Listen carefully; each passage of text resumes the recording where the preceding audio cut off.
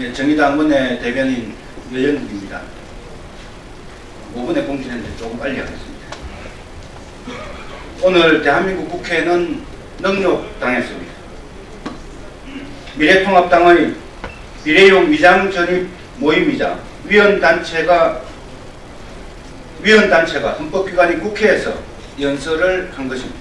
독립된 정당이 아닌 한 정당이 자가 정식한 단체가 미디어 정당에서 연설할 근거가 도대체 무엇입니까? 정의당은 의회 민주주의가 기만된 것에 대해 강한 유감의 뜻을 표합니다.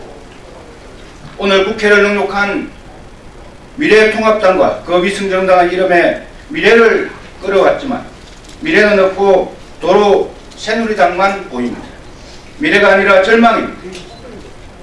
미래한국당보다 절망 한국당이 어울리며 그 본체는 미래통합당이 아니라 절망 통합당이 딱 들어맞는 것 같습니다. 미래한국당과 같은 미래용 위성정당은 그 자체로 절망적이며 민의를 반영하는 준영동행 선거제도를 비틀어 민심을 반역하려는 영모입니다.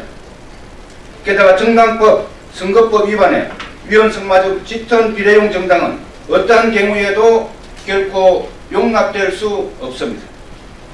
오늘 한성교 의원의 연설은 그 내용이 어떠했을지 뻔합니다.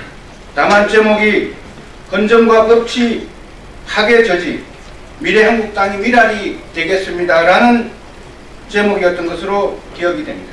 한성교 의원과 그 소속 단체가 헌정과 법치를 위해 할 수 있는 가장 큰 일은 미래한국당의 해산입니다. 더 이상 국민께 절망을 주지 말고 결단하시기 바랍니다. 고맙습니다.